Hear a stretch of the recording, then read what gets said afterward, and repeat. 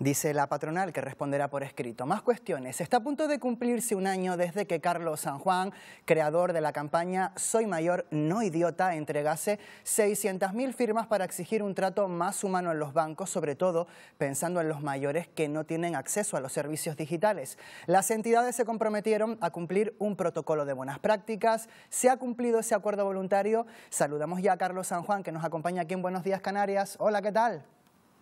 Buenos días, encantado de estar con ustedes de nuevo. Bueno, las entidades bancarias se sumaron a un protocolo voluntario para humanizar la atención. Para hacer un poco de memoria, ¿a qué se habían comprometido? ¿Qué incluía ese protocolo? Bueno, pues el, protocolo era voluntario y, autoevaluable, es decir, que no estaba sometido a ninguna autoridad independiente. Se comprometieron a aumentar el horario, un horario de oficina eh, completo, como era antes, y a a una atención presencial, inclusive externa, es decir, eh, ayudar en los cajeros y, por otra parte, a que modificar los cajeros, hacerlos más fáciles, que no, eh, no estuvieran estropeados, averiados más de dos días y eh, hacer más sencillas las aplicaciones. Esto es a lo que se quiero. ¿Y lo están cumpliendo? pues no. Sinceramente, acabo de leer una una entrevista, se, ha publicado esta misma mañana, el 90% de los mayores pues estamos, estamos disgustados. Se ha cumplido en parte, en, algún, en la mayoría de las sucursales, esto es cierto, el, horario. Pero ¿qué ocurre? Que la ampliación de horario, perdón, inclusive en algunas, en la mayoría, atención en el cajero. Pero cuando hay que hacer operaciones en la ventanilla, son lentas, cobran por ellas, y luego no han modificado para nada eh, la, complicación de los cajeros y no han tocado las aplicaciones que son muy difíciles. Y lo peor es que de una manera civilina, una manera muy encubierta, lenta, pero están cerrando sucursales, ya no solo en el medio rural, que ya era un, dramático desde hace mucho tiempo, sino que ahora pues ya llevan tiempo haciendo lo mismo a nivel urbano, sin ningún tipo de, de justificación. Es decir, en una palabra, pues no estamos en absoluto contentos eh, para nada después de una lucha de casi, de, bueno, de casi no, de un año ya. Sabe usted que a partir del próximo 1 de enero entra en vigor un nuevo impuesto a la banca. ¿Teme usted que esto suponga que las entidades empiecen a recortar por otro lado y haya menos em, servicio presencial para los clientes?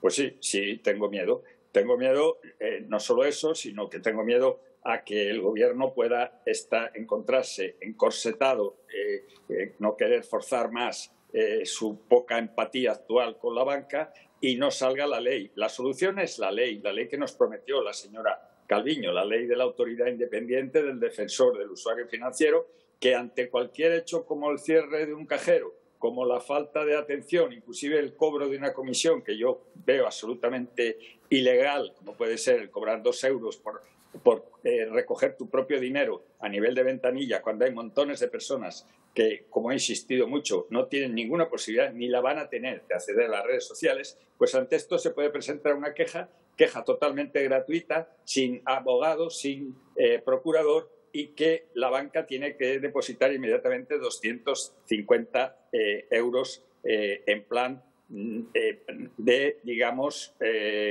adelanto de esa indemnización. Entonces, ¿qué ocurre? Pues eh, que yo sigo pensando que confío en, la señora Calviño que cumpla su promesa, pero nos estamos acercando eh, peligrosamente a un periodo eh, electoral en el cual, pues como he insistido mucho, cualquier partido político normalmente entra en una especie de hibernación legislativa y no se hacen, no se promulgan leyes.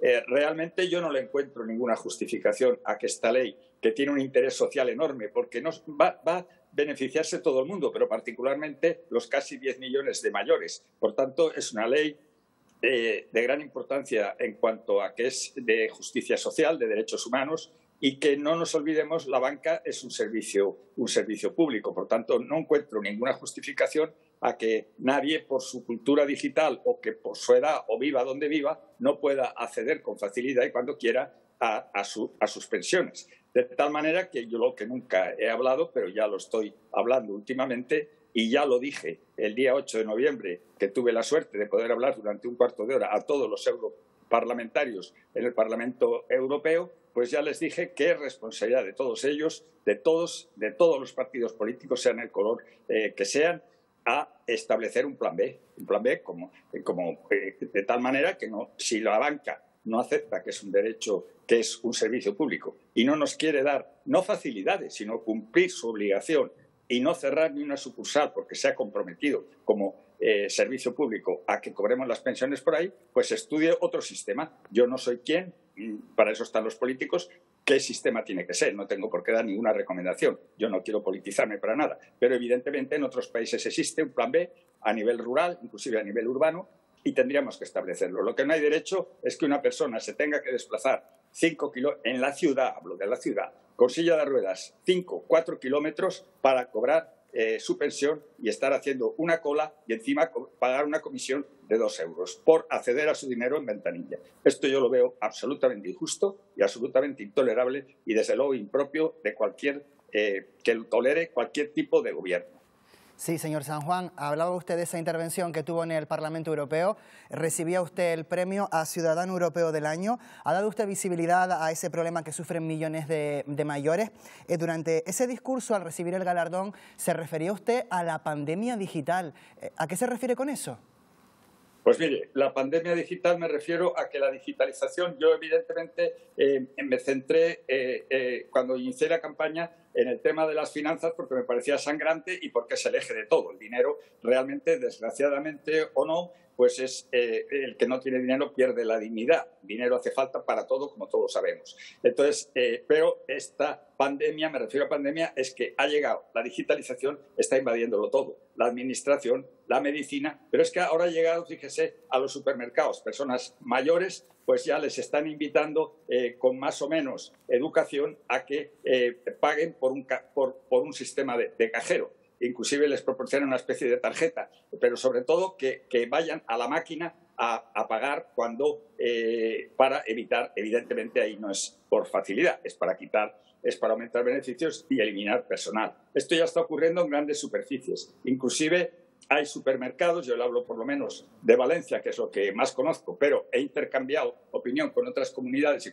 que eh, eh, tienen una aplicación, una app, el que tiene esa aplicación le hacen en un gran parte de, en muchos productos necesarios un 30% de descuento por tener la aplicación, por usar esa aplicación para comprar y para pagar en un cajero automático. Esto yo lo veo absolutamente excluyente para un montón de personas, insisto, que no nos damos cuenta, pero que estadísticamente es muy significativo que debido, y estoy, eh, he escuchado eh, gran parte de su programa y, he, oído inclusive pues, que Cáritas está desbordada, no se dan cuenta de que hay un montón. A estas personas que está atendiendo Cáritas, usted le va a pedir que tengan internet en casa y un teléfono inteligente para poder eh, acceder a la poca ayuda o a su poca pensión que casi que prácticamente no pueden acabar el mes con ello. Esto es realmente clama al cielo el que esta ley no saliera. Yo sigo diciendo que las confío ciegamente en la señora Calviño porque a mí me demostró empatía y los mayores, los viejos, como dicen, pues realmente tenemos una especie de sensibilidad para captar cuando una persona está creyendo en nuestra causa. Yo sigo confiando, yo creo que hay una, estamos pasando un momento, como también he escuchado, de una, bueno, y está el conocimiento de todos, una,